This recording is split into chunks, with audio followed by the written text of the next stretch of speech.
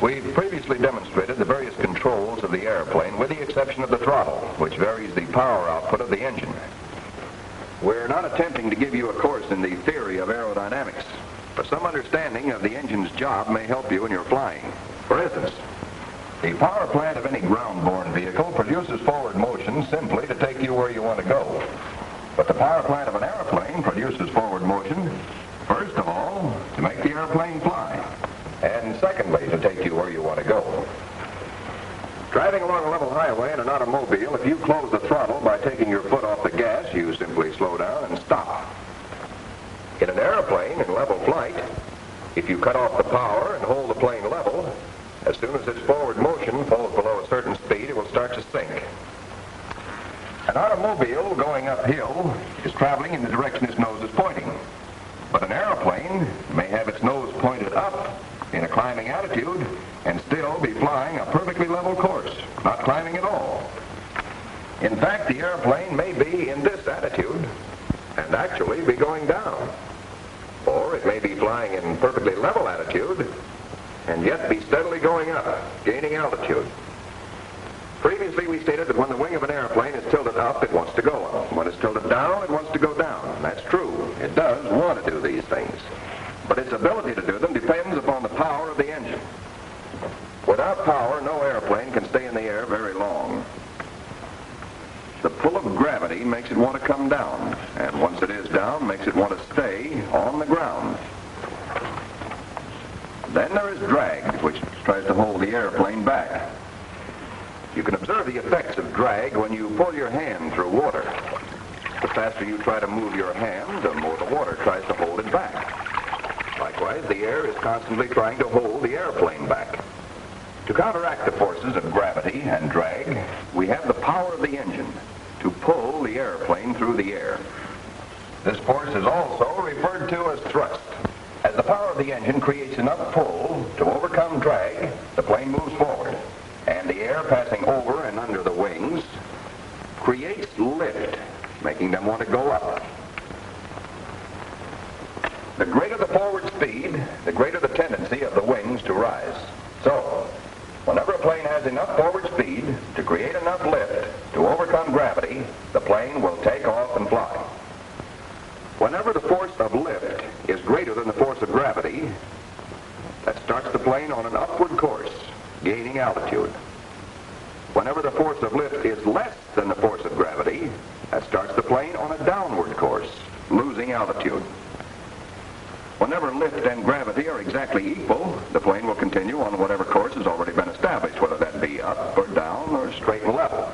So, a plane may remain in perfectly level attitude and still gain or lose altitude, depending upon the variations in power or pull, as it varies the plane's speed. However, the rate at which a plane gains or loses altitude is not determined by airspeed alone, but by a combination of airspeed and attitude.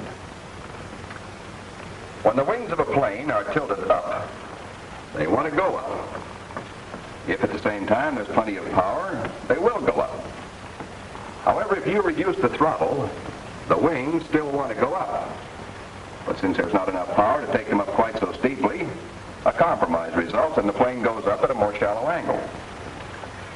So you see, the performance of an airplane depends as much on what you do with your throttle as it does on what you do with your stick and rudder pedals. And incidentally, since this is the case, keep your hand on the throttle as much of the time as possible, except when you're trimming the plane. When you're cruising along in straight and level flight, you'll carry roughly about one-third to one-half throttle.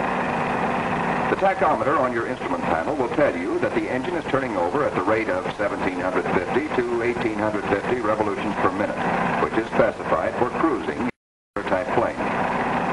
With the throttle at this setting, and the plane in approximately the level attitude, you should be able to maintain a level course without gaining or losing altitude. Now open the throttle to about the three-quarters position, and at the same time, ease your nose up about here. This is the climbing attitude for this particular plane. In this attitude, the plane will travel upward at about this angle. Let's say that in this correct or most efficient climbing attitude, the plane would gain this much altitude in 10 seconds time. If you pull the nose up any higher, say to about here, you decrease your airspeed, and although you might be climbing at a slightly steeper angle, you'd gain altitude more slowly. In 10 seconds, you'd be about here instead of here.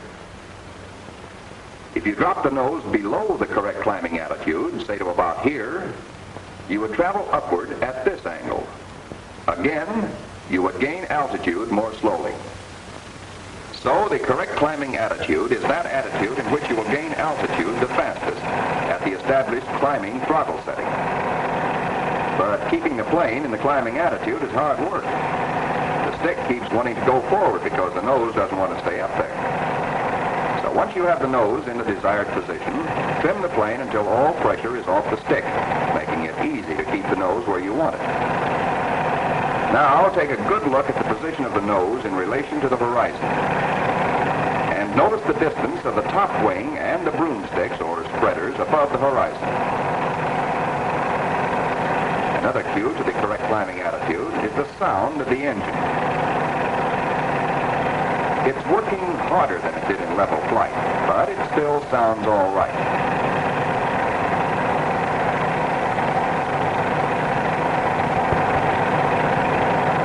If we pull the nose up too high, you can hear the engine begin to labor you can see and feel a slight vibration in the plane.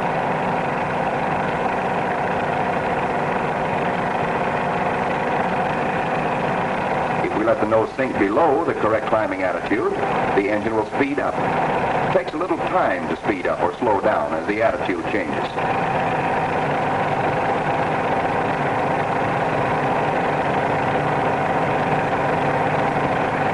Listen again as we bring the nose back up to the correct climbing attitude. And notice that the sound of the engine changes rather slowly. When we're ready to bring the plane back to level flight, we first ease the nose back down to the level attitude.